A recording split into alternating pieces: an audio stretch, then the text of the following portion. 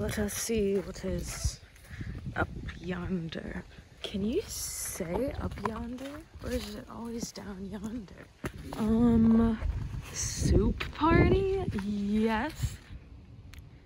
This is my view for soup. Another soup view. I carried this stuff up a hill and I did it all for you, Sean Lowe. I'm doing another video about cooking on my Coleman grill. This time I'm dedicating it to my good friend Sean Lowe because when I asked for a request, he requested that I try making soup on my stove. So I made soup and it's just for you. Soup! And you can see the song I'm talking about down in the comments so I don't look as crazy. Also, I happen to be engaged today. Thank you. But not actually though. Don't congratulate me and don't expect it for another 10 years.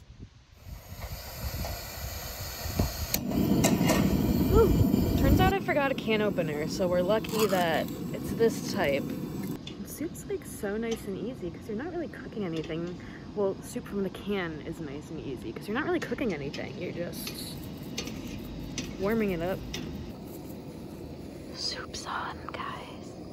We are having cheese and broccoli potato soup. Less dishes the better, so I'm just going right for it. And how are you, Sean? How have you been?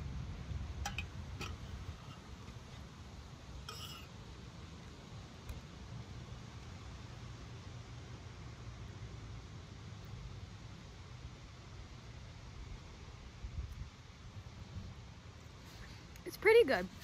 It's soup from a can. It tastes like soup from a can, but a little bit spicier.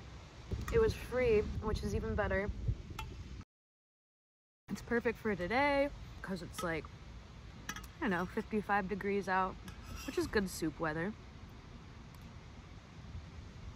Also, I checked and somehow I'm actually very close to being a monetized channel, which doesn't rake in much money, but it would be really cool to see, uh, I don't know, some money from this, something, because the videos are kind of a lot to put together. So all I need you guys to do is to keep watching the videos. If you know someone who would like them or someone who is thinking about living in their car or van or whatever, share it with them because what's holding me up is I need more watched hours on my channel, I think. So just keep watching. Let me know if you want me to make something on my Coleman stove and I'll dedicate it to you depending on if I want to eat it or not.